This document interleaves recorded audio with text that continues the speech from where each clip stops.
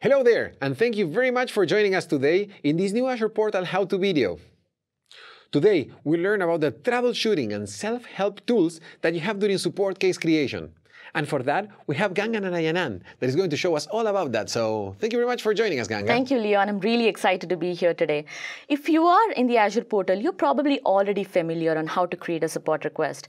But what I'm going to talk to you about today is the plethora of self-help content and troubleshooting content that's actually available to you so that you can resolve the problem on your own without having to contact support. So let's get right into that. Now, I have a SQL DB resource here, and suppose I'm having SQL data sync issues with this resource. In the resource menu tab, you can actually see this new support request link, and this is actually available for all the services. Once you click on that, as you can see, we will pre-fill some of the information that we already know about the resource. For example, the subscription ID, the service, and the resource name. Now, I say that I'm actually experiencing data sync issues. I select the problem type and subtype and click on the solutions button. So the solutions tab, this is where we surface our self-help tools and troubleshooting tools and insight content that is from our diagnostics that actually run on your resource at runtime.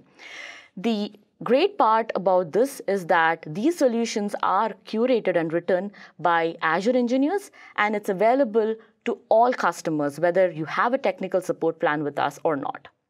Now, in this scenario, it looks like there is a diagnostic that's actually going to be running, will run and check for some common errors on this resource. But before it starts, it's asking me for a question and says, when did the problem start? So I'm going to provide that information and click on submit. Now, while that's executing and checking for some of the common errors, you can actually explore some of the recommended solution, um, the documentation links, and troubleshoot the problem on your own and while this is actually executing in the background.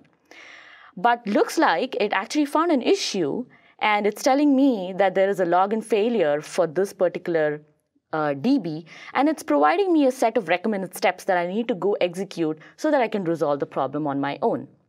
This is great.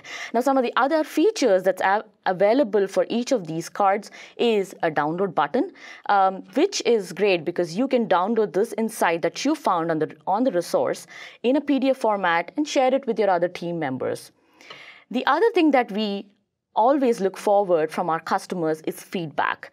And so there is a question that says, was this useful? And it'll be fantastic if we get all of the information from you guys, whether this was helpful to you or not.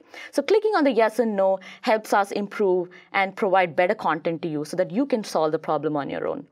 So Leon, these are basically some of the tools that's available today for our customers, whether they have a support plan with us or not, and they should absolutely be using this so that they don't have to contact support for some of the most common issues. Thank you very much, Ganga. Thank you, Leon. And thanks every one of you for watching. Try this out and let us know what you think. Leave us a comment in the comment section, follow us on Twitter, and look forward to seeing you in the next video. Thanks for watching.